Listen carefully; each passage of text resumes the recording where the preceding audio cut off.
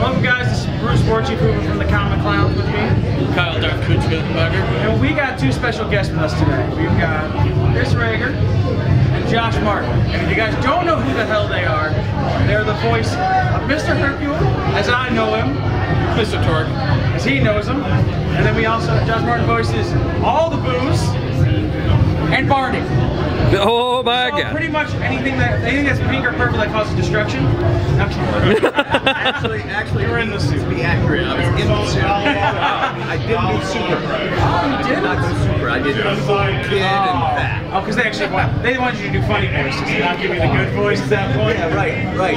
They barely gave me any lines to begin with. Um, but you two are really good friends. As, as Samurai Dan starts coming over here for a second. Samurai Dan. How's it going? Alrighty. But you two, I was talking to him earlier, it's like you two seem like good friends, and they found it kind of funny. Like, there's, did you two just get into the booth and meet each other, or did you do something before each other? Uh, Josh and I met in acting school about 22 years ago, uh, and uh, became friends. Uh, we're in several comedy troupes together in Dallas that we created and uh, performed uh, many, many places. And uh, I actually was part of Hercule uh, back in like '99, and then when the Buu Saga came around, until that part. Chris Sabat came to one of our shows and uh, I was doing a character called the Pillsbury Basically, the Pillsbury Doughboy gets jumped on the way to school by the Keebler elves, makes a man, turns him into a gangster rapping doughboy. I'll take it, that's awesome. Can we get a sample of that? Nothing says loving like the blunts I be puffin'.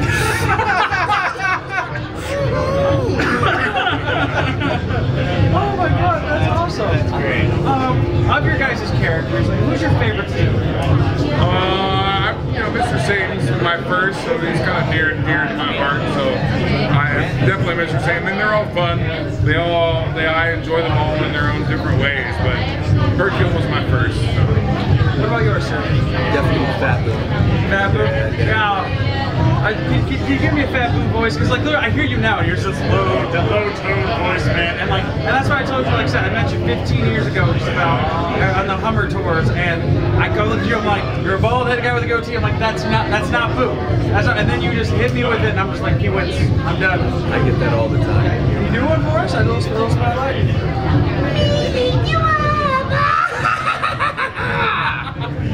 See, that, that was always the thing for us. Um, I mean, That's why it's my favorite. How do you guys feel about your character losing on Death Battle, but yours winning? You you lost on Death Battle? Kirby actually beat uh, Bob. Kirby. Kirby. Beat Buu. Kirby beat Buu. How do they, how do they justify uh, that? Justify the fact that he took a frying pan that was three times the size of a skyscraper with a giant fish in it and threw it around the moon and back. Yeah.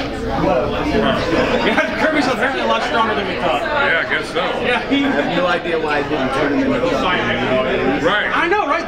They, they didn't that. That pissed me off. I, like, I was like, why didn't he just eat him? No one That, controls that, it seemed that that would have been the first thing that happened. And it's like, Death, death battle over. I thought. Makes for a short death battle, though. But I, I'm glad I won. yeah, I Hercule. Uh, I like the justification they made because at the end of the day, Hercule is a champion. Dan Hibiki's never won a thing in his life. It's true. It was awesome. Uh, it was Except for least favorite character in Street Fighter. the, per- the pink key. The pink key is awesome.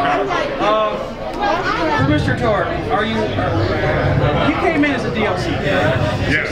And how did you feel when Hey, you Grant, told you you that in? he was going to be a real Hold this. character? Because he's to me, he's Like Borderlands when you're now actually going to Borderlands get without. to show up in the like the, Yeah. the Dragon's Keep stuff. Uh, well, in the me beginning, standing. Gord was just going to be a vending machine. Yeah. Uh, so later they liked so much, they, we laughed so much at the vending machine stuff, they're like, we want more of that. So they gave him his own DLC. Uh, and then eventually brought me back in every DLC. And then the fact that I did actually sort of pop up uh, as a real person, not a com communication. Uh, I guess there was a little bit earlier in that first one uh, when I sort of interrupt Tannis uh, as she's trying to tell you the name of this area. I'm like, no, it's the badass. The Creator critter of badass. yeah, badass creator, badass attitude. Uh, so you do get to see him move around there, but you actually see him come out and like they put him in the stocks and he tells you to go blow up the ocean. Blow the, uh, the blimps that are a part of the town, or the D and D. Right. And then he has a little fangirl moment at the end. Who was uh, Did you get the voice Gravator? I did not. I, I get asked that a lot, and I really have no idea who did voice Gravatar. I did enjoy. I did enjoy that part sitting down for 15 minutes, and listening to Grandma Tour ramble on about shit. Having to answer her questions correctly. Right. to get to get everything. Uh, crazy question. This is for the ongoing series for Dragon Ball Super. Yes. Um, uh, um, that's that same question to go towards you about your characters. How do you feel about Hercule going from the loudmouth, showboating uh, guy that takes credits for everything and is now turning into the loving grandfather that only cares about like taking care of Pan? Well, I enjoy that there's a little bit of a shift. You know, I kind of could tell as the, the Boo saga was sort of wrapping up that Hercule was, because of the marriage with Gohan and Videl and all that stuff, that, okay, I was like, I'm, I'm now one of the crew. I'm a part of the team Yeah. Uh, so I could already kind of tell there was a bit of a shift or a transition, but uh, I mean, what I've enjoyed about it so far is that Buu and Satan live together, and it's sort of like this odd couple kind of situation. You know, Buu comes in, I'm hungry, he's messy, does crappy, interrupts things, and then I gotta like calm him down and, and make him happy and please him and stuff. It's like So- having your own second grandchild. Right, right. It's like having another child, exactly. So. How do you feel about like in Dragon Ball Super? Like I said, they uh, we were talking before about they're gonna have Buu in there, and you're excited to see him fight again because Fat Buu was always so powerful. And, and, yeah, he gets his butt kicked by Beerus, but everyone got their butt kicked by Beerus. But then like in that tournament, that's upcoming series that they're doing for that tournament, they have him there. You're like, oh, we get to see Buu fight again, and then they take him out by a test. I mean, I don't know if you guys did you ever watch that far? I have not gotten that far. Oh, Okay, I'm we, sorry. We have not, we have not recorded that far. It's uh, it's something that happened, and I was like, they got Buu there, and they're like, Buu, you can't spell your own name. He's like, why did I ever need to learn that? I've been like, so they put him back into a side role versus being like a main fighter, because that would have been awesome. Goku, Vegeta, Piccolo, Buu, and it's like, there's your world. I feel I feel like Buu's gonna pop in there at some point. You know, I mean, I hope he comes back and starts doing some more work. Because Buu was always great. Buu, was, and Buu and Bee, that dog. That if you did not cry at that scene between Hercule and uh, and Buu and that dog and that dog getting shot, you're a liar. Okay, you're you're a liar. Everyone remembers that scene. And Buu lost it, and then that. I, I, I'm sure it was Then you a- got it was an evil Buu coming out.